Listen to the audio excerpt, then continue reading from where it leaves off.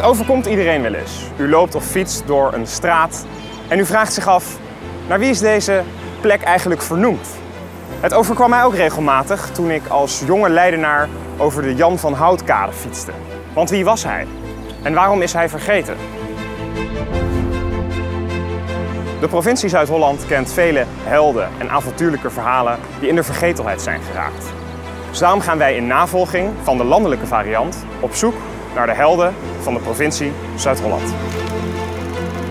Jan van Hout werd geboren op 14 december 1542 in Leiden.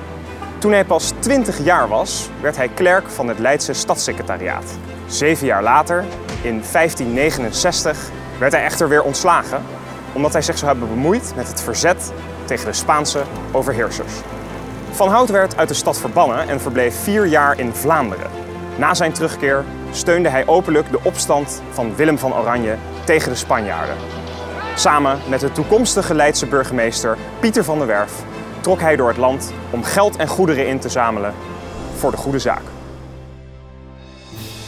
Toen de stad Leiden werd belegerd door de Spanjaarden, raakte Jan van Hout bevriend met Janus Douza, de stadscommandant. En samen met hem kon hij Pieter van der Werf ervan overtuigen rotsvast vertrouwen te houden in de opstand en de stad nooit over te geven. Jan van Hout was ook dichter en over deze hechte vriendschap met Janus Douza schreef hij een gedicht wat hier in de 3 Oktoberstraat is aangebracht als muurgedicht.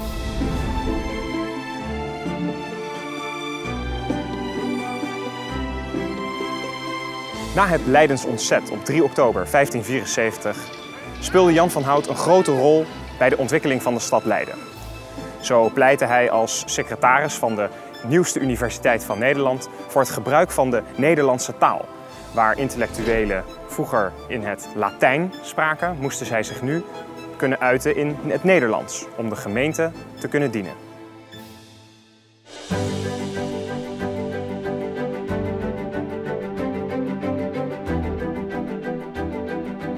Ook op economisch gebied zorgde Van Hout ervoor dat de stad Leiden een enorme impuls kreeg. Door onder andere gespecialiseerde arbeidsmigranten en intellectuelen uit de zuidelijke Nederlanden te halen. Voornamelijk die gespecialiseerde arbeidsmigranten in de textielnijverheid zorgden ervoor dat Leiden kon uitgroeien tot de tweede stad van Nederland. Een stad van wereldformaat. Jan van Hout overleed in 1609. Maar vandaag de dag kunnen wij nog een hoop van zijn leven leren. Zo staat vandaag de dag FVD ook pal voor de Nederlandse taal en voor een succesvol, maar vooral ook legaal migratiebeleid. Voor mensen die hier niet alleen iets komen halen, maar ook komen brengen. Die onderdeel willen zijn van onze maatschappij, die onderdeel willen zijn van onze fantastische geschiedenis.